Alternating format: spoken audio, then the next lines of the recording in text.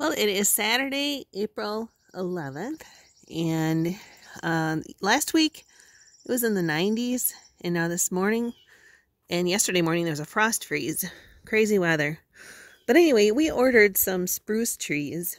Um, last year we had a bunch of loblollies that we put in, and um, we're hoping that the deer were going to leave them alone like everybody says they do, but obviously our deer like them.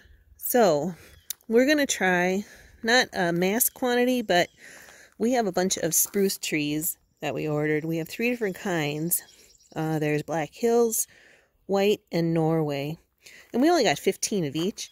And we're just going to use them here on the Illinois farm and um, plant them around some strategic areas. They look like they're about, I don't know, two, two and a half feet tall. The deer usually don't eat spruce, but I guess we'll find out.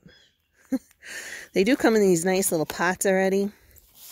So all I'm doing is just sorting them, getting them ready, and uh, so we can do this as a tag team and get them in the ground pretty quick and get them growing. Hey guys, Kapper here, and today on the weekend we're going to plant some new trees.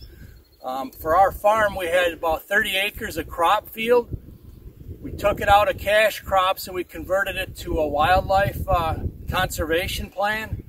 So part of that plan is adding new cover and we got three different kind of spruce. They're deer resistant. We got uh, Black Hills, Colorado, and white spruce. So we're gonna mix them around the farm and we also enjoy spruce. So we wanna add, you know, some spruce around the farm because they are very pretty. So Let's get some trees in the ground.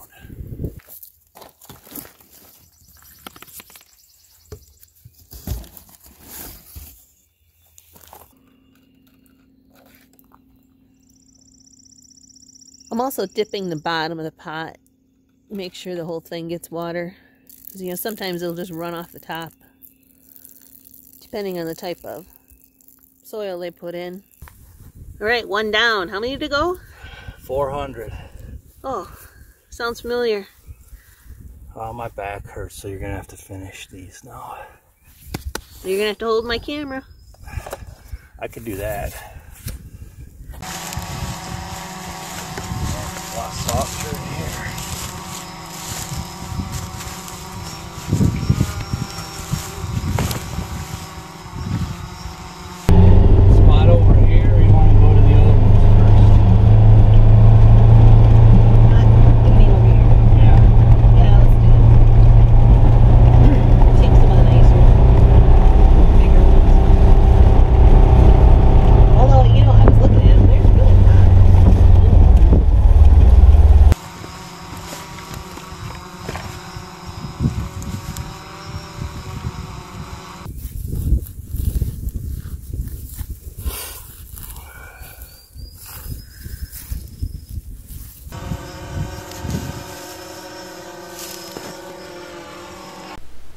Okay, so this whole area right here where you see the brown grass, that's all warm season Cave-in-Rock switchgrass. But we also planted four and five foot white pines last year, and we also planted loblolly pines. It's kind of a plan A, B, C, and D. A is a switchgrass if it takes. If the switchgrass doesn't take, it's going to become natural regen. And we supplemented that with these white pines you could see sticking up. But unfortunately, the deer just clobbered the white pines. They rubbed every single one of them. They rubbed the bark completely off, so I don't think many are going to survive. So that's kind of why we're adding some spruce into the mix. So we've got warm season grass, spruce, and there's a bunch of loblollies in here that are still alive, even though they've been eaten down. Because the loblollies will grow back even if deer eat them virtually all the way down. So we're just kind of adding to this plan. And speaking of natural regen, a lot of people don't necessarily like it, but you got to keep in mind deer will literally eat over 400 species of plants. So in a natural regen area, there's still plenty of browse for them in there, even though we consider a lot of it weeds. This patch right here, I had planted loblollies in last year, And yeah, the deer did nibble on them, but they are still alive. So we're going to just add a few of the spruce to fill in some of the gaps and that'll help close off that food plot and bring a little bit more life. So we think the loblollies will be okay once they can uh, get a little bit faster than the deer can eat them.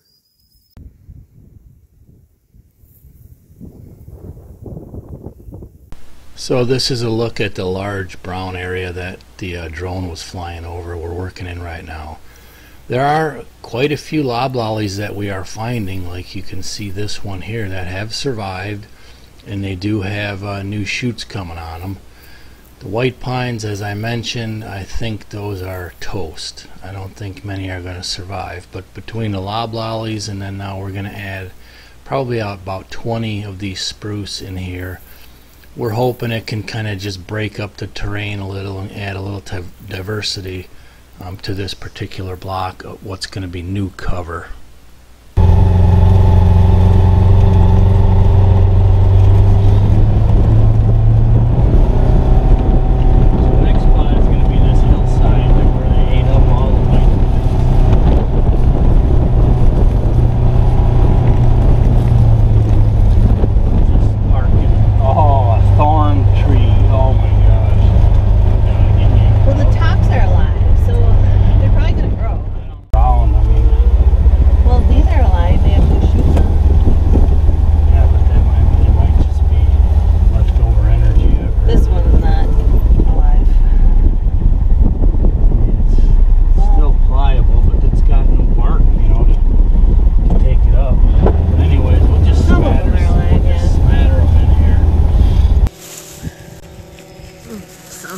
Mosquitoes.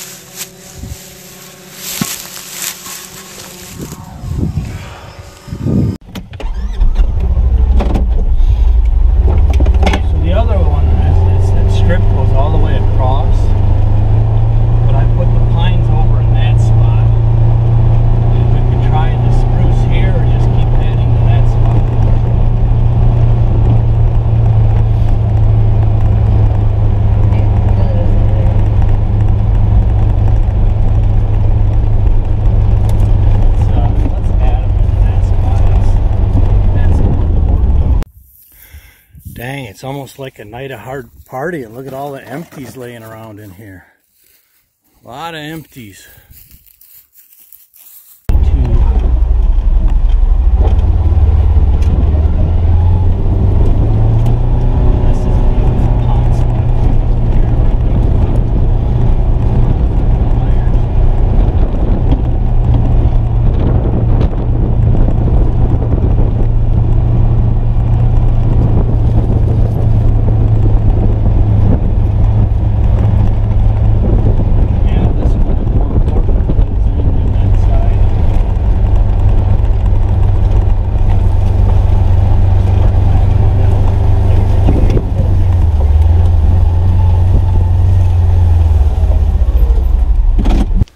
Okay, so this is the second to last spot. We're planting like four different areas. And let me show you on our, our big map where this is. This is a new cover area that's going to kind of separate this field and cut it in half. So if you look up here, this native warm season grasses, that's where uh, that's where we're planting a batch of these uh, spruce trees to add into this cover.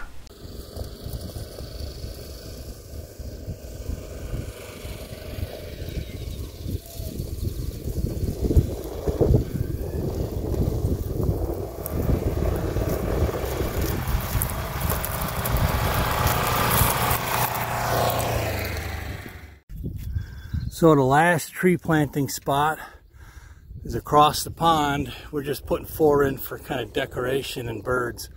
But we put these two maples here. Unfortunately, we lost that one there that we just cut off. But we just planted four of them here, kind of to make it a little pretty spot with some spruce.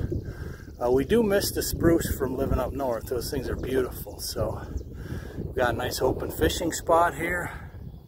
Nice picnic spot. So hopefully these will take and it'll be really pretty.